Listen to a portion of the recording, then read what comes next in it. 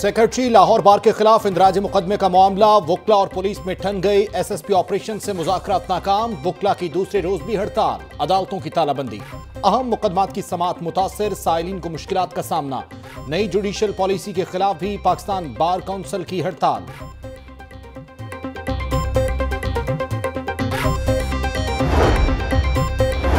ننانوے فیصد افسران کو پتا ہی نہیں کہ انویسٹیگیشن کیسے کی جاتی ہے۔ انویسٹیگیشن کا بنیادی مقصد شواہد کو جمع کرنا ہے۔ انویسٹیگیشن میں رائے کی کوئی اہمیت نہیں۔ سپلیمنٹری بیانات درج کرنے کے بجائے شناخت کریں۔ Chief justice Lahore high court Sardar Shamim Ahmad Khan کا ججز کی تربیتی ورکشاپ سے خطاب۔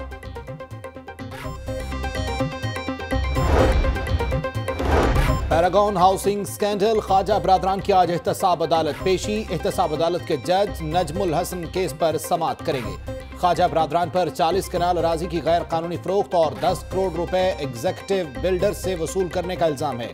نیب کا موقف۔ پولیس کی بھاری نفری جوڈیشل کمپلیکس کے اندر اور باہر تعینات۔ اطراف کی سڑکوں کو خاردار تاریں اور کنٹینرز لگا کر بند کر دیا گیا۔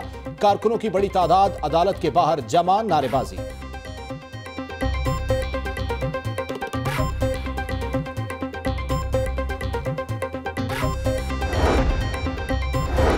وزیر اعظم عمران خان کے خلاف حق عزت کا دعویٰ۔ ایڈیشنل سیشن جج سابق وزیر پنجاب شہباز شریف کی درخواست پر سماعت کریں گے۔